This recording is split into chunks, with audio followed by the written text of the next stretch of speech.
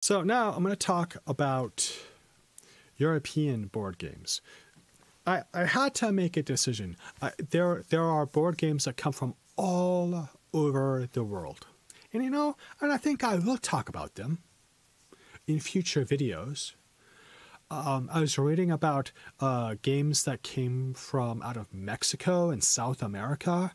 Uh, I really want to talk about those games. Um, there are some there are some board games that came out of Russia. I'd like to talk about.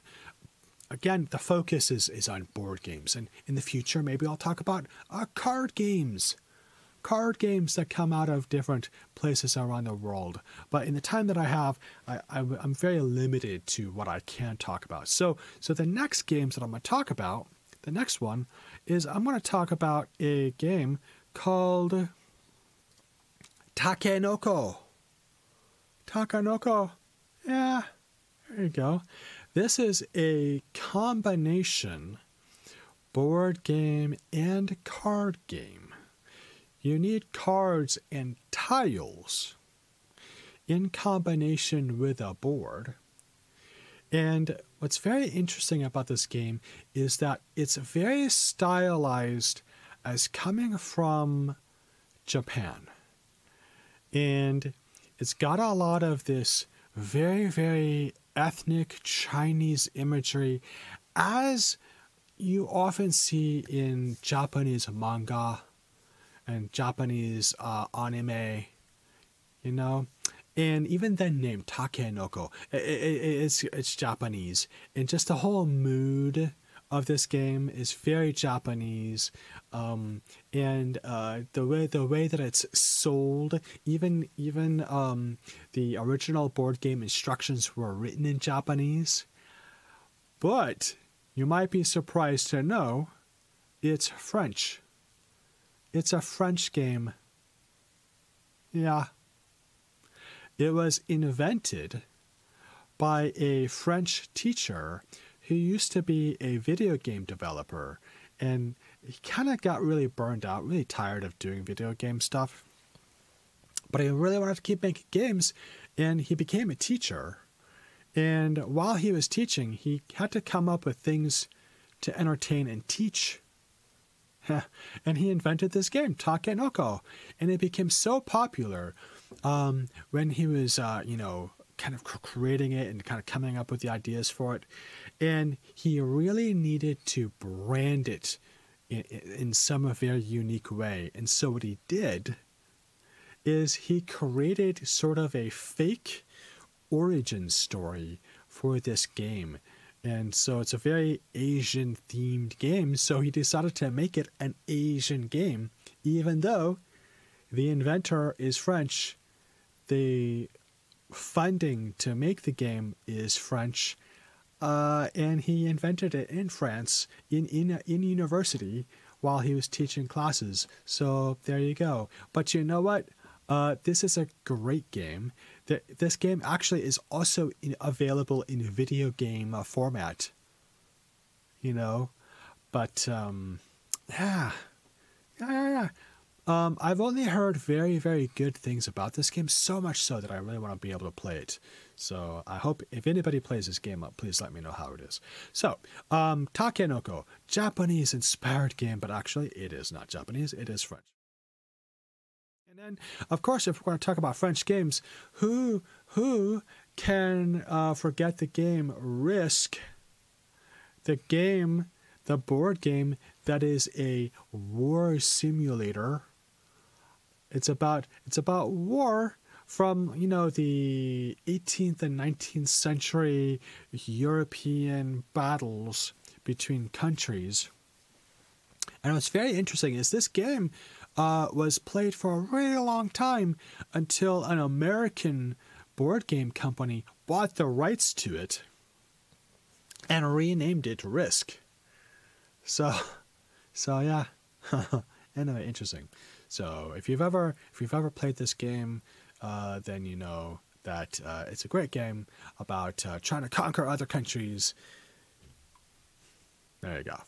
But definitely, a, even though it is owned by an American company, it is a French game. Oh, um, a little interesting trivia about this game is it was invented by a French filmmaker from the 1950s. So it's not even a really it's not even a very old game. Actually, it's um it, it was invented in the 50s by the same uh, filmmaker who made movies in the 50s. And uh, sometime in the 60s, I'm going to say 1967, the an American card company, Parker Brothers, bought the rights to the game. So anyway, so actually it's not a very old game. It's a pretty new game, even though the setting of the game takes place 100 years ago or 200 years ago. We have to talk about Germany. Now, remember I told you that there are so many board games that came out of different parts of the world that I just don't have the time to talk about. But nowhere is there such a place like Germany where so many board games are created. Germany has a long history of board games. It's crazy. And uh, I think maybe next video, maybe uh, next week, next stream, not next video. Next video is a whole other board game. But uh, next stream, maybe I will do German board games because there are just so many. I think that might be a good idea. But anyway, we are talking about a popular German board game now. So I talked a little bit about uh, Ludo, Ludo, where you have to roll dice to advance your pieces to different things, and then I talked a little bit about Risk, which is a French board game, which is about resources and want to take over a country.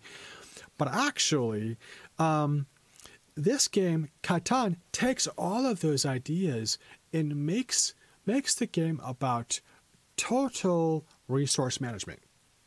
So it's how you get wood and lumber and, and corn and wheat and land and water and other resources and how much of those resources can you get before your opponents do.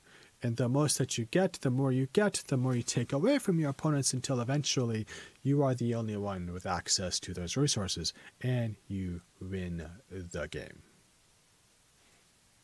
Yeah, Catan or Settlers of Catan, but this is definitely a very German game. Right, so the next game I'm going to talk about, I'm going to show you the picture, and I want you to tell me if you know, if you know uh, this game. Huh? Huh? Yeah, you've played this game before. In English, we call it Chinese checkers. Chinese checkers. And if you remember the earlier game that I told you about, which I think is called uh, Drafts, I think, um, which is a very, very, very early version of chess or checkers, right? Just very early version of that game. Um, this game is just called Chinese checkers. It's it's checkers. The problem is it's not Chinese, and it's not checkers. None of this game is like checkers. It's more like chess in that you're trying to remove and own your opponent's pieces. But that's that's not even a very, very good similarity. And it's not even uh, it's not even Chinese. It's German. It's German and it comes from the games, um, or maybe I, maybe I got it wrong. Ah, a Sternhalma. Huh? Sternhalma. Yeah, it's a German game. Yeah. and for some reason, when it came over to America, it was called Chinese checkers and then it got it got imported to Asia. Yeah, crazy. Um, and in, in Asia, it was given its own name, but it's a German game. Ah, this is crazy. It's bonkers. Well, that's going to be it for Europe. That's enough time for Europe, I think. And I think maybe the next stream that I do, I'll just focus on German board games because there's some there's several German board game com- companies that I want to talk about, uh, and maybe you might find interesting and might want to play with your families. You know, I don't know. Maybe we'll see. Hmm. Anyway, next up, we're to talk about something different.